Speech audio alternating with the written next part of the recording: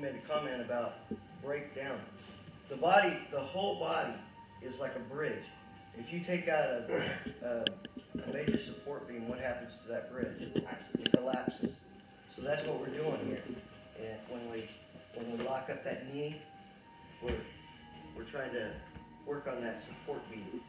So if you, if you walk towards the person with that support beam and just press down either on the shoulder or the hip, and I want you to try this, just walk towards them and watch them go backwards. Okay, give that a try. Walk, walk right into them after you lock that knee. Instead of walking away like I was showing, walk into them and see what happens. All right, give that a try, and then we're gonna go to the next, the next technique. Oh, and keep in mind, this is not set in stone. Just because Bill says, you know, lock, chop, punch, chop, does that necessarily mean that you gotta do that? No.